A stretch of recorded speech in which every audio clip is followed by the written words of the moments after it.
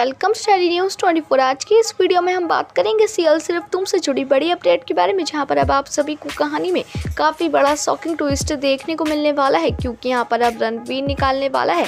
आशा को धक्के मार कर ओब्रॉय मैंशन से बाहर। जी हाँ यहाँ पर आप देखेंगे, अब आशा अपना असली चेहरा दिखाना शुरू कर देती है, और वो ममता ओब्रॉय को धक्का देती है, जिसके बारे में अब यहाँ पर रणवीर को पता चलता हुआ नज़र आने वाला है, और रणवीर का गुस्सा अंश की माँ आशा पर फूटने वाला है, और वो उन्हें समझा देने वाला है कि अब वो किसी भी कीमत पर उन्हें अपने घर में नहीं रहने देगा। उन्हें इसी वक्त ये घर छोड़ना होगा और रणवीर की बात सुनकर आशा के होश उड़ने वाले हैं। अब देखना दिलचस्प होगा कि रणवीर निकाल देगा आशा को ओब्रॉय मेंशन से बाहर या फिर अंश चलेगा कोई बड़ी चाल। देखना इंटरेस्टिंग होगा। सीरियल सिर्फ़ तुमसे जुड़े ऐसे लेट्स अपडेट पाने के लिए चैनल को सब्सक्राइब करें। अगर वीडियो पसंद आए तो लाइक करना ना भूलें।